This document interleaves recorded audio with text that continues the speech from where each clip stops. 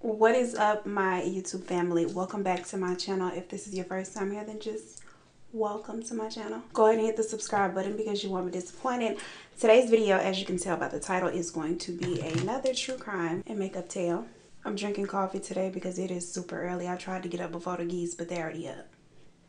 They're already up. And speaking of the geese if you follow me on twitter i'm sure you noticed i posted this tweet that said geese won me blowing Poppy zero and I forgot the mace. Y'all, let me tell y'all what happened. So I'm walking the dogs, right? My apartment complex is surrounded by a lake. So I walk Blue on a leash because if he's not on the leash, he runs like a madman.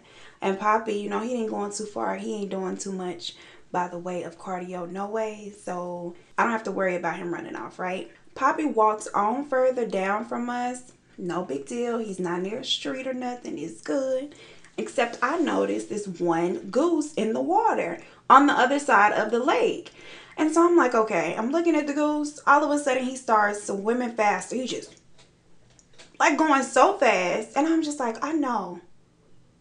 He is not about to run down on Poppy. Now Poppy is just he minding his business, doing his business. When the duck reaches land, still I'm thinking, surely this duck ain't about to run up on Poppy. Like, surely this is not what this duck has come all the way across the pond to do. Poppy's still sniffing the ground, not paying attention.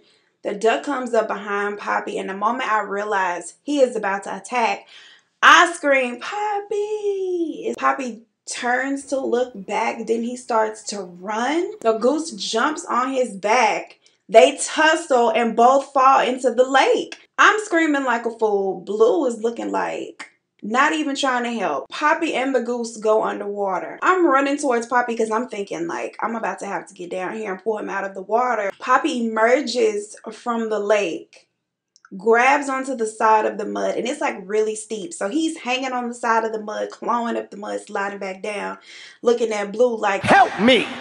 Help me! Nigga! me. After a couple of seconds, Poppy is able to get out of the water and the goose is just swimming around, like talking his noise. I'm gonna insert a clip of the aftermath because this duck just ran Poppy into the lake. Poppy almost died. It was just a mess. The duck was still like going on and on and on. It's like, yeah, girl, you got this one.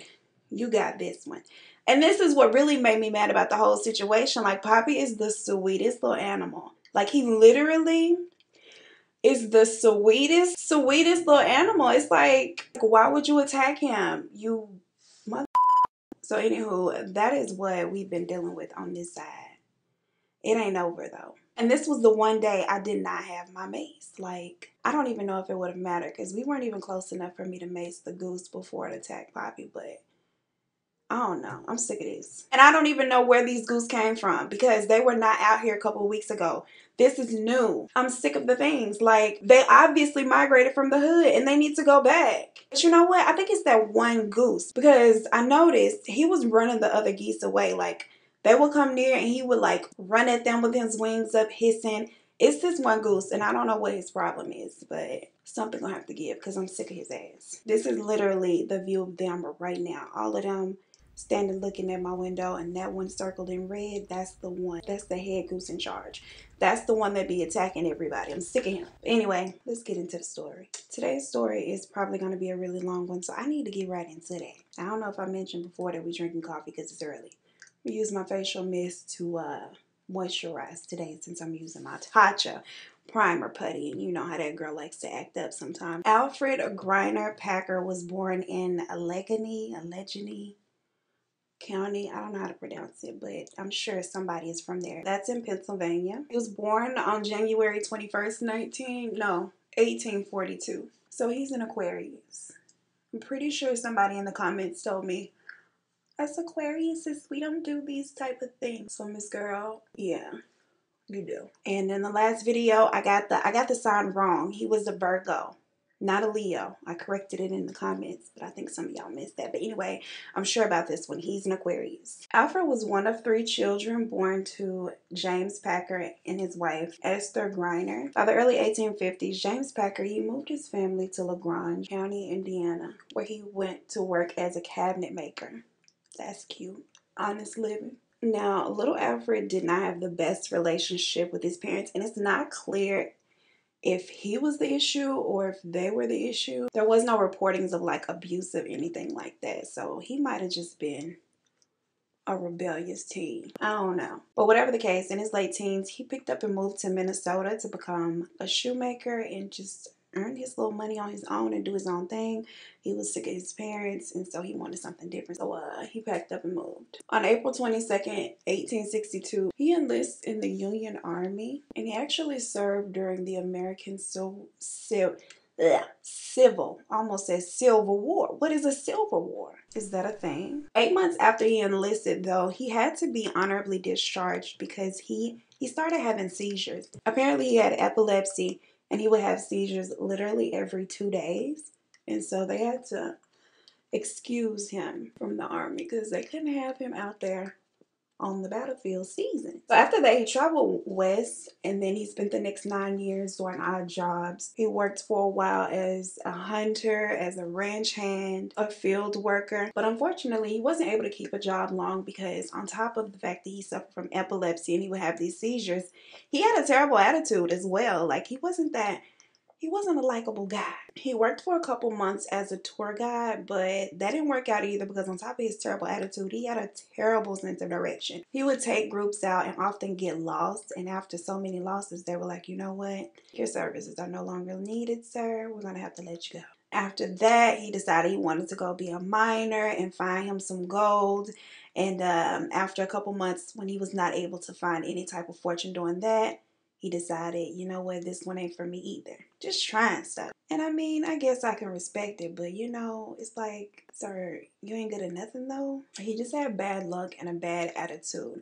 All of the people that knew him, they recounted him being very quarrelsome, very uh mean. He was known to steal and just all around hard guy to get along with. We probably all know somebody like that. And if you don't know somebody like that, you're probably the person like that. Now, in November 1873, 20 men, they left for an expedition for the gold fields of Breckenridge, Colorado. It was said that there was a lot of gold over there and um, it was a great place for you to go mine at the time. People were finding good fortune there. The men were mostly strangers to each other, but they were, you know, they were down to team up and go get this gold strike. You know what I'm saying? Y'all, don't let me forget to blend this out above my lip because we know I will. 25 miles past their starting point into their little trip, the group, they run into Alfred Packard, right? Our homeboy Alfred. Aquarius Alfred. Alfred you know what? I've been calling him Alfred. His name is Alferd. So this is the thing. I don't know what his mom and daddy was doing when they switched that in they are, but they did. And so if I accidentally call him Alfred again, just y'all, it's early, okay? It's early. I'm so sorry. Alfred asked the group, like, where you guys headed? Where y'all going? And they let him know about the gold strike over in Colorado. And so, of course, you know, he's out here broken these streets. Nothing is really going right. He asks the group if he can join them. And at first they tell him no, because he doesn't have he doesn't have any tools. He doesn't have anything really to offer the group. Like he's just a broke stranger. Now Alfred, he began telling the guys that, you know, I might not have no money and I may not have no tools, but I am a tour guide and I'm very familiar with the area, so I can help you guys get there and find the gold. Now, they see this as a position of worth amongst the group, so they're like, okay, well, you know, you do have something to offer. Come on, let's go. Come on, Vamonos. Everybody, let's go. They themselves really knew nothing of Colorado's geography, but unfortunately for them, neither did Alfred. He was lying. And so, yeah. Now, as they're traveling together, now a group of 21, Alfred, he didn't just sit down and eat his food. He was very greedy with the rations. He was very lazy. He was very troublesome with the group. He would start arguments and fights. I mean, just really being his, his himself. And so this this became a problem for the group. He particularly did not get along with Frank Miller. They constantly fought.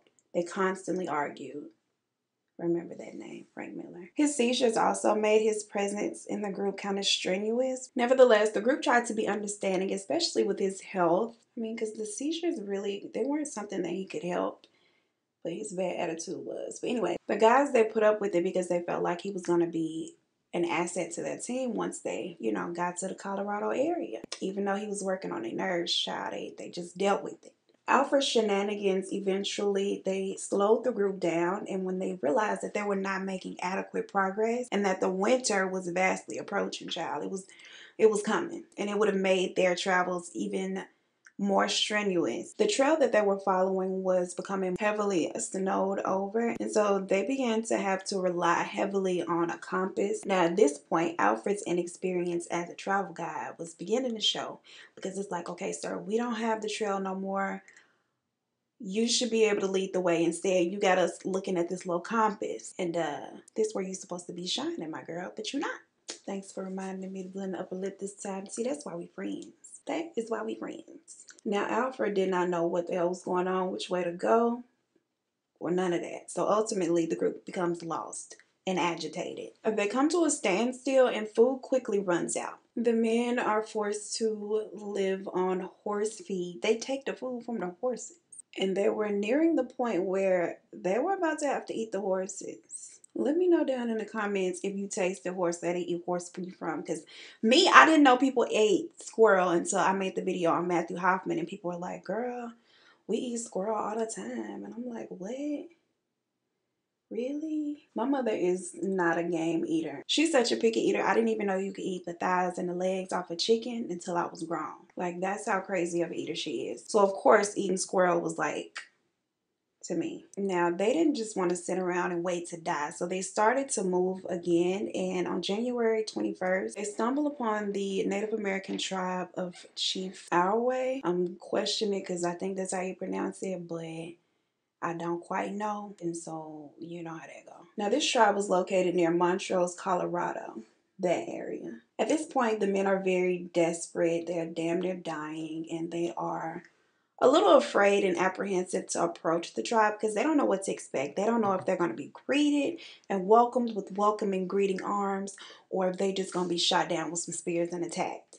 Before you get offended in my comments, baby, the Native Americans are my people, okay? Don't fall in the comments like, I don't want to hear. Chief Alway, he greeted the group with open arms. He gave them food, he gave them shelter, and kind of, you know, he nursed them back to health. He was a very welcoming and gracious host. He recommended that the group postpone their expedition till spring because they were likely to encounter like really harsh winter weather in the mountains and it wouldn't be safe. He warned that not even a local would attempt such a journey at this point in the year because they for sure would not make it in the mountains with the weather. Like it was just no way. The chief offered for the group to remain with his tribe. They would provide them food through the winter, shelter through the winter, and then they could move on when the winter passed. He promised to share all that he and his people had with the group, which is so nice. The entire group, they stayed there for a couple of weeks, but unfortunately, a couple of them was ready to get to the gold. So they were like, you know what? I can't wait no longer. I'm gonna leave. Three men got together and decided that they probably could make their way on their own from there and that they weren't gonna wait because miners from all over the country were headed towards this gold strike and they were just fearing that maybe everybody was gonna get to it before them. They wanted to get on get out of there because they was not trying to get their last and not get no gold nuggets. Now Alfred, he tries to leave with this group, but they're like, you know what? No, we're not taking your ass with us. Nah, fam. You don't have no money, you don't have no tools, and you obviously don't have a sense of direction, and you're a liar, so we're not taking you. They threatened to kill him if he followed them, and so he turned around and went back to camp. So Alfred decides he gonna make his own little group. And despite his obvious lack of direction, he's able to convince five men of the group to follow him out into the winter wilderness to go find this gold. The group of six men, they leave the tribe on February 9th. The men in Alfred's group had a 75 mile journey ahead of them, which they estimated would take approximately 14 days to complete. Now, Alfred, he took his group higher up into the San Juan Mountains, completely disregarding Chief Alway's ominous warning that there was no way that they could go up there into the mountains this time of year here and make it out alive. The group goes into the mountains with two rifles, one pistol, a couple of knives, a hatchet, and minimal ammunition. So, I mean, they had a couple of things, but they didn't have much. What happened after they proceeded into the mountains is not clear. Roughly two months later, on April 16th, 1874, Alfred Packard arrives at the Los Pinos Indian Agency in Gunnison, Colorado. He is broke, he is freezing, and he is alone. All alone. The five man group that Alfred had been traveling with throughout the mountains, they were nowhere to be found. Now, when the group had set off on their little journey together, everybody was alive, they were healthy, and they were well. But it seems that between that point and uh, Alfred reaching his old destination, that something very, you know, something sinister had happened.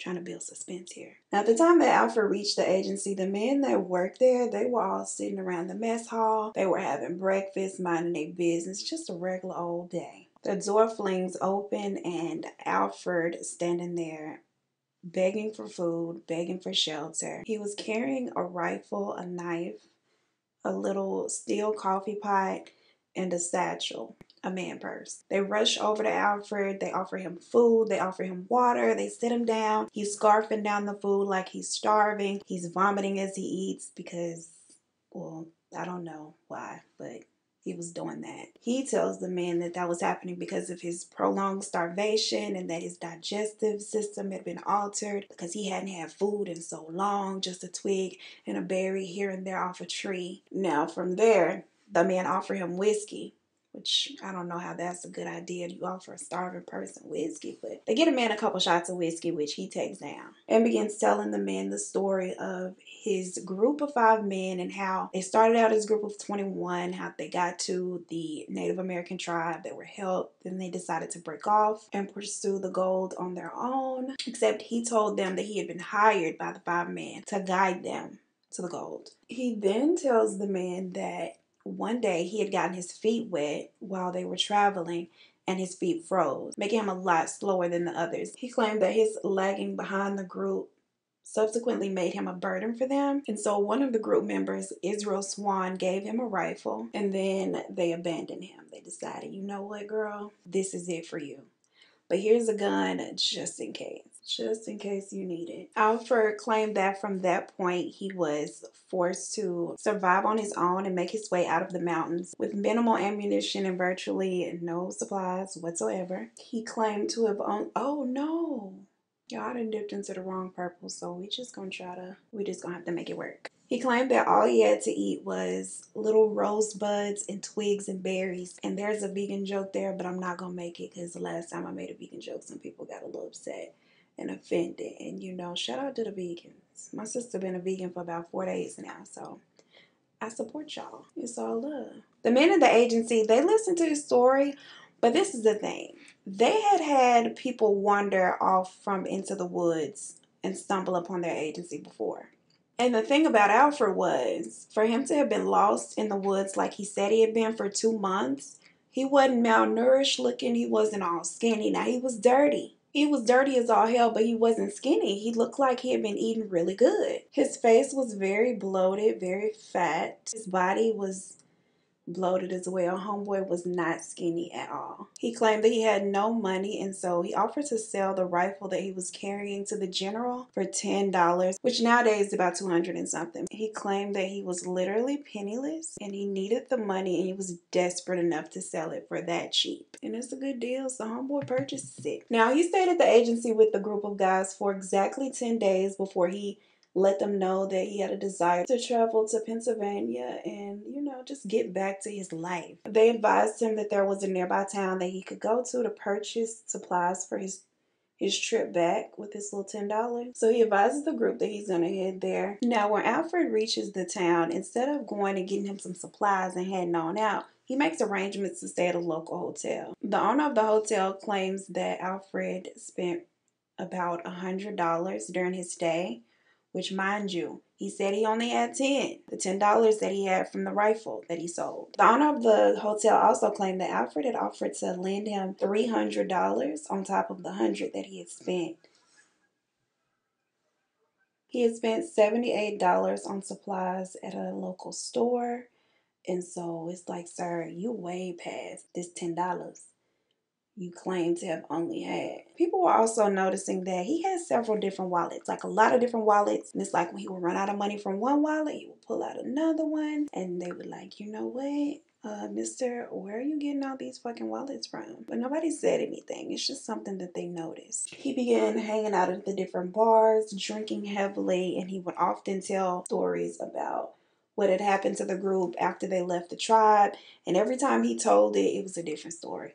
It was never the same the same story. All of this quickly led to a lot of gossip around the town, of course, because it's a small town. You have this guy that showed up out of nowhere, spending a bunch of money, telling a story of how he was a part of a six man group and now it's just him. The story of how he becomes detached from this group, it, it just changes every time he tells it. I feel like a Ninja Turtle with this green. Now, apparently, during this time, a couple of the people who were a part of the original 20 piece I said it like they a patch of chicken nuggets, child. The 20 piece. Wow. They were also leaving the tribe and traveling. Now, a couple of them had begun stumbling upon the same agency that little Alfred had stumbled upon. One of the first being a man by the name of Preston Nutter. He and two other men, they stumbled upon the agency together. Oh, no, I'm sorry, not the agency. These three, they stumbled upon that town nearby the agency where Alfred was hanging out blowing money fast. The group they run into Alfred at a bar who's there drinking, drinking and carrying on, having a good old time. Preston, he approaches Alfred and he asks, you know, hey, where's the rest of the guys? Where's the group that you left with? Alfred tells him the story of how he got his feet wet and that they froze, and so he had to set up camp and the group told him that they were going off to find food and that they would be back. He claimed that Israel Swan had left him his rifle just in case, I guess, a bear or something came out of nowhere, or just in case he encountered trouble while the group was gone, and then they just never returned. He then tells Preston that after so much time had passed and they had not returned, he assumed that they had abandoned him, and so he was left no choice but to leave them to their unknown fate and uh, move along that's what he did, surviving on twigs and berries and the occasional squirrel. And uh, luckily, he stumbled upon this town. And Preston, he thought the story was odd, mainly because of the same reasons that everybody else thought it was odd. It's like he did not appear to be a starved man. He had a fat little belly and a full face. Furthermore, Preston thought that it was extremely unlikely that five people would abandon their guide and press on in the snowbound mountains that the guide claimed to know so well. It just didn't make sense. It just didn't make sense. Preston also found it really hard to believe that these guys would really abandon him. He was like, These don't sound like my homeboys at all. I don't believe it. Furthermore, Preston didn't believe that Israel would simply hand over his rifle, especially needing it. Like, what if they ran into a good old tasty deer? What they gonna shoot it down with? What they gonna do is jump on his back and wrestle him down? No.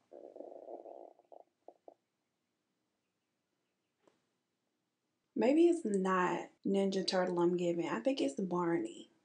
Girl, now that I've thought about Barney, I really am not pleased with my color selection for today's look. The group had a lot of questions for little Alfred. They were like, girl, this is not adding up. Where did all this drinking money come from when Alfred was flat broke when he joined the group? He even claimed to still been flat broke when he stumbled upon this little town which is why he sold the rifle for $10. $10 is not going to get you a room for weeks, supplies, and endless liquor. It's just not, not even in Mexico. Preston also noticed that Alfred had in his possession a skinning knife that had belonged to Frank Miller, the guy that he was constantly fighting when they were all together, and was one of the five men that he had set out with, which I'm surprised that he was able to coax old Frank into going out with him and joining his group when they couldn't even get along. I guess for that coin, though, Frank was willing to get along with him for the time being. With the whole fortune being involved, I guess it, it makes sense.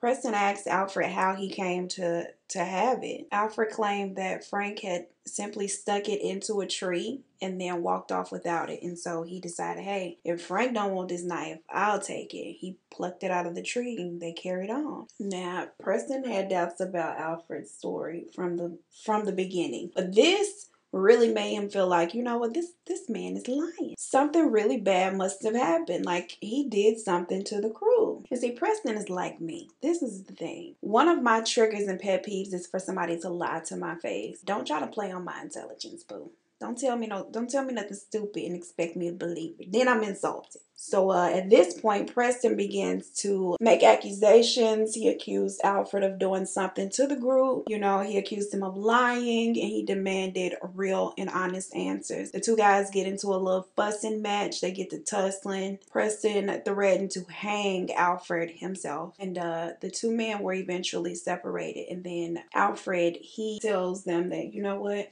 He's out of here. He is going to leave he don't need this stress. He's gonna pack his things and get get on out of here because he ain't got time and got to go. Now, meanwhile, while all this was going on, five more men from the 20 man group, they arrived at the agency. The group were introduced to the head of the agency, which is General Adams, and he tells them like, "Hey, this guy Alfred, Alfred Packer, he came through a couple weeks ago and he was a part of you guys' group. Like, do you know him? He also tells the group that Alfred had been abandoned by his group of, of guys. And, you know, he was deserted, how his feet were so cold and frozen. And immediately, all five men, they discredited the story that Alfred had told. They were like, homeboy is a liar. I'm sure that's not what really happened. He is not to be trusted. They said that the men that they knew would have never deserted Alfred and moved on without him. They recognized the rifle that Alfred had sold them and said that it belonged to an elderly man who would never have just left it behind. The five men convinced General Adams to dispatch an officer to retrieve old Alfred from the neighboring town and bring him in for questioning because they were just like, we need real answers. This is not the truth.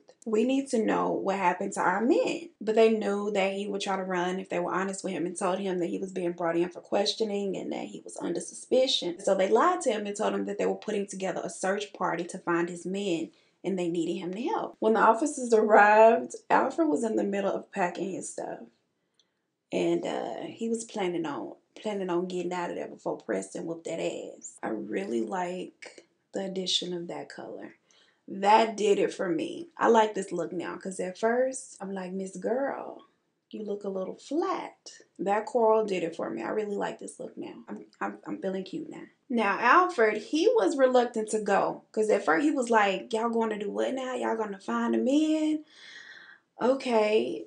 He, but he knew that if he did not agree, that uh he might have to face some old vigilante justice, a little old vigilante ass whooping. And so he agrees to go with the officers to help find the group of men that he had set out with. Now at this point, he had even purchased a horse. He had a whole horse, y'all. A whole horse and a saddle he got on his little horse and he followed the man back to the agency to help them assemble their search. Now, when he got back to the agency, he was then confronted by General Adams as well as the five new men that had arrived. They confronted him about the fact that when he arrived to both the group and the agency, he claimed to be penniless though he had purchased this big old horse, this saddle, and had spent all his money in the town, they also pointed out the fact that he was in possession of a lot of the things that belonged to the five men that had set out with him. Pretty much, they let him know that the jig was up and they just weren't believing it. They were demanding real hardcore answers and evidence. Now, Alfred, he repeated the story that he had told when he first arrived there, and then he acted all surprised and shocked that the men still had not been found. They had not been heard from. He was like, Well, y'all still ain't found them? Oh my God. He expressed his little concern for their well-being. It was like we have to find them. They're such good men. But uh nobody was buying it. Nobody. They all knew that Alfred was full of shit. They asked him where did he get all this money from, and he said that a man in town had given him a loan. So General Adams, he was like, Well, if that's true, then you won't mind me sending one of my officers into town to confirm this. Alfred reluctantly agrees, but he's like, You know what? No, I don't mind. Send him into town to verify my story because I'm telling the truth. A local man loaned me this money. This completely backfired on Alfred because when the officer returned, not only did he report that nobody in town had offered him or loaned him any kind of money, he also had the information that he had arrived with this money and then it was put out that that not only did he arrive with money, He arrived with money in all these different wallets. At this point, General Adams was like, you know what? We're going to have to settle this some kind of way. Now, literally, during Alfred's interrogation, one of the Native American tribesmen runs into the agency holding strips of dried human flesh that he referred to as white man's meat that he had found on a hill near the agency while he was out hunting. Alfred, he immediately falls to the floor. He begins to sob. He begins begging for mercy and swearing to make a full confession and tell them what really happened while they were out in the mountains if they would just give him a little bit of mercy, just a little bit. As it turned out, old Alferd Packer had killed and eaten the men, claiming that he had to do so for survival. He claimed that it would not be the first time that people had been obliged to eat each other when they were hungry. Now, I don't know about you watching this, but me, myself, I can't see myself eating another person. Like, now I've heard people say that meat is meat and flesh is flesh and flesh is meat. So it's kind of no difference. But for me, it's a difference. I ain't eating no human. I'm just not. I'm so sorry about it. Now, according to Alferd, he said that the men left Chief Ouray's camp with what they thought would be sufficient food for the 14 days that they said it would take to get to where they were going. But he said that they were forced to eat more because the travel was so strenuous and so they had to eat more and so their rations they went down quicker than anticipated. He said that the group of men had survived for days on roots that they dug from the ground and pine gum from the trees, rosebuds and the occasional rabbit. After a few days of no wildlife activity, nothing to shoot down and hunt and roast over an open fire due to like the extreme cold. I guess, you know, and it's too cold, even the animals ain't coming through. He said that at this point, the group had been surviving on nothing but roots, okay? Nothing but roots that they had dug from the ground and that they were really hungry and it was just getting bad. And that they all started to, I'm, I don't know why I'm about to laugh because I'm like, this is the thing. When I first read this, he said that they all started to eye each other in an unsettling way. My mind went broke Brokeback Mountain. And I know that when you hungry and stuff, sex is probably the last thing on your mind. But initially, when he said that they began eyeing each other in an unsettling way, I was like, was they about to start busting each other down? Like, what's the deal? But apparently, he meant like as food. Now, he claimed that a few more days after this, he left the camp to find more firewood. And when he came back, the four men were surrounded around Israel, the older guy who had the rifle. He said that Israel had been struck in the head with a hatchet and that the four men started to butcher Swan so they could roast him over the fire and that he, he too joined in with them because he had no choice but to accept the situation because he was hungry too. So that's what he said happened. Now, he said that several thousand dollars were found in Swan's belongings. They divided the money between the five of them and decided, you know what, we, we had to do it. We had to. Alferd claimed that once they had a meal of swan, they packed up the remainder of his meat, took his rifle, and then the group decided to move on, like to keep going. However, within two days, the men were out of meat again allegedly. They still had trouble coming upon any kind of game. There was no wildlife in sight. And so Alferd, Shannon Bell, George Noon, and James Humphrey decided in secret that Frank Miller would be the next to go, which is the guy that uh, Alferd was always fighting. They said, you know what? We're going to get him next. He's going to have to take one for the team and we to eat him. According to Alferd, they picked Frank because he was a chubby man, he was a stocky man, and they felt like he had a lot more meat. Which the thing is, sir, he just had a lot more fat, but I don't know. Maybe he did have more meat. I don't know. But they figured that, you know, he would be their best option to get them a little further. They attacked Frank the same way they had attacked Israel in the head with a hatchet and butchered him and roasted him, packed up his meat and decided, you know what, we got to keep moving. Now, Frank's money, along with his share of Israel's money, it was divided amongst the four surviving men. They took from him his knife and everything else that they wanted, allegedly and then they decided to move on. Now, the winter was relentless. Homegirl was out here like the and she was not letting up. She wasn't making life no easier for them. In fact, she was making it a lot more hard, just like Miss Rona and these damn geese. Now, Alferd, Shannon, and George decided that next, old James Humphreys was going to be sacrificed for the good of the group and the good of his meat. Child, just can't. And then from there, they decided to sacrifice George. I'm just telling you how Alferd said things happened. Now we're down to just Alferd and Shannon Bell, who, according to Alferd, they had made a pact and promised and swore to each other that they would not eat each other. They was gonna make it through this. They couldn't have had that much longer to go, and that they was just gonna, you know, make it out of this thing together. At this point, they had a rifle apiece. They had knives. They had they had thousands of dollars that they had gotten from the other guys. Alferd said that they agreed that they would tell the story that the other four men had perished due to the winter that they just couldn't make it. They had died and they were forced to leave them behind and they would omit the fact that they ate them.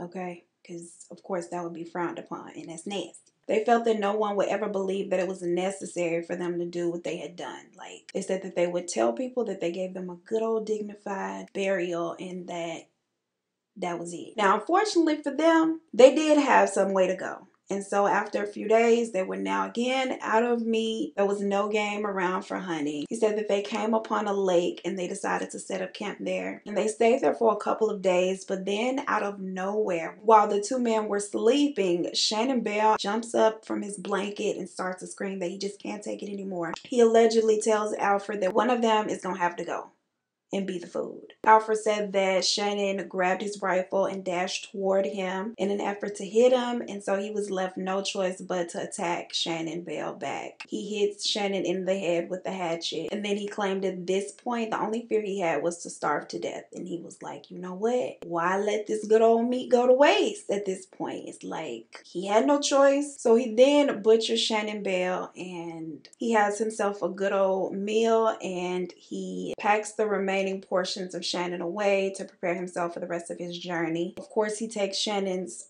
share of the money. So he really rich at this point. He decided he was gonna head on from that point, not sure how far he was from anything or if he survived it all in the end. After a short while, he climbs his hill and over the hill he sees the agency. He throws the remaining strips of Shannon Bell's flesh away, presuming that an animal would, would eat it what animals are. If you said there wasn't no animals out there, what animals did you assume were going to eat this flesh? See, I need to be a prosecutor because I got the questions. It's going to expose that ass. Well, I have one question anyway. He also confessed that he had become quite fond of the taste of humans at this point and that he was particularly fond of the portions surrounding the breasts. And it's like, sir, it's chicken breast out here, it's turkey breast you can be eating out here, but you want to eat human flesh breasts. Like, I don't understand. As good as chicken is. Now, one of the men was ready to beat him up. They was ready to, to just really light into old Alferd, Like, They was really gonna give Alferd the business. But the general, he stepped in and he said that they needed to think about their next course of action. And so they separated everybody and decided, you know, let's just have a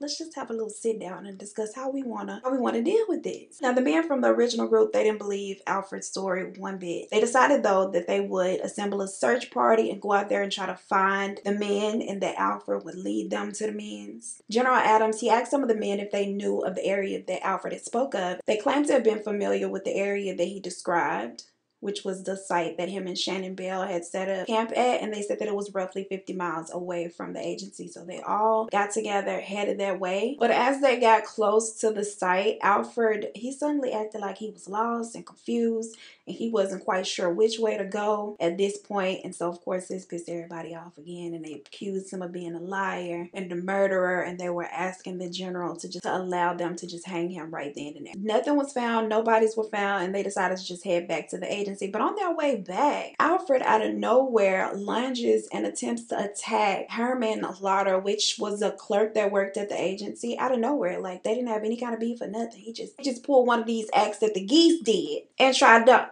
jumped down on Lil Herman. Now he was caught in the act and restrained. And up until this point, General Adams actually was willing to believe Alferd a little bit, at least give him the benefit of the doubt. Then when this happened, this unwarranted attack, he was like, you know what? Nah, Alferd, you're a little crazy and you are dangerous. So you can't really be trusted like that. When they got back to town, the agency didn't really have the means to detain Alferd. So they sent him to that little town that he had been living his best life in. And they had them lock him away while they tried to figure out what they were were going to do with him. During his detention, he retracted the whole first story about what had happened and why he had to eat them. He claimed that a strong blizzard came through and the group had got lost and they were forced to eat their shoes to survive and whatever edible vegetation that they could find. And then the men entered a pact that if one of them died, then they would eat that one and sacrifice him for food. And everybody agreed that if they died, they will become the food. And the first one to die was the old man. He just couldn't take it. And so they ate him. And then that's what happened. People would fall ill and then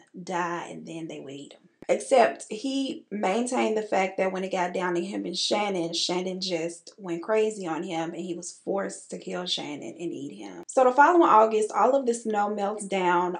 Alferd is still being detained in this little town or so they think. An illustrator who worked for Harper's Weekly magazine stumbled upon the site of the incident, and of course, all the snow had melted, so he was met with a real nasty, grisly scene, which he actually illustrated and drew. Y'all know I don't put real crime scene photos into these videos, but here's the illustration of what he found. He discovered all five of the bodies two miles southeast of Lake City, Colorado, in a pine shaded ravine known now as Dead Man's Gulch, which matched the description of where Alferd had originally claimed that Shannon Bell had met his end. But not all five of the men. He said that this is where Shannon exploded on him. Now, everybody else was supposed to have passed along the way. The local coroner and a group of some of the law enforcement, they set out to go check out the scene and they find all five bodies at different stages of composition, you know, due to like the elements and wildlife coming by. Y'all know, apparently there's some eyeball eating Bambies out here in these streets. So, allegedly. Frank Miller's head was missing completely. Now, they assumed that some wildlife had come by, picked up his head, and carried it off. But I think that Alferd did something to him because you know that's the one that he just didn't get along with. So it's like, no, he probably did something with that head himself. I think that's just my own two cents. It ain't facts. Frank and Israel's bodies were pretty much nothing more than bones at this point. But they could tell that Israel had been hit with the hatchet as Alferd had said because there was a huge chunk missing out of his, his skull. The bodies of George and James their torsos were skinned and attached to skeletal legs. Like all of the meat from their legs had been taken. Their heads were attached, their faces were completely there. Facial hair, full beards, head full of hair, all of that head looked perfect. Except for the fact that they had received blows to the head, which is how Alferd had killed them. And their bodies had noticeably broken bones. So I don't know what that was about, but it was some violence there some kind of way. Now Shannon Bell's body his torso was completely intact and skinned, but his legs were skeletal. All the meat had been removed from his legs, and mostly his arms and his hands were still there, but they were skinned as well. His face was in almost perfect condition. All his hair was there.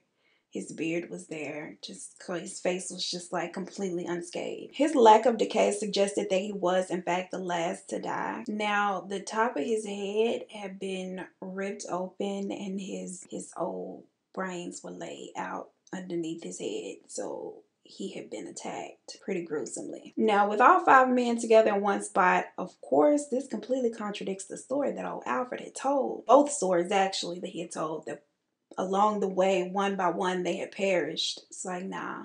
The men did have some torn pieces of clothes that were wrapped around their feet, and all of their shoes were missing. So they assumed that that part about them eating their shoes might have been true, because where were the shoes? Unless they used them for a fire. I don't know. But this is the thing. I think I'd rather eat my clothes than my nah, because I don't want to be cold. But how do you walk on ice and snow? I ain't trying to do that. I wouldn't have ate my shoes. I'm sorry. I couldn't have. I don't think I could have. I would have ate some damn tree bark. No, I don't even like them little weedy cereal. So I couldn't have ate no tree bar. I don't know what I would have done. I probably would have ate lettuce off the trees before I ate my shoes.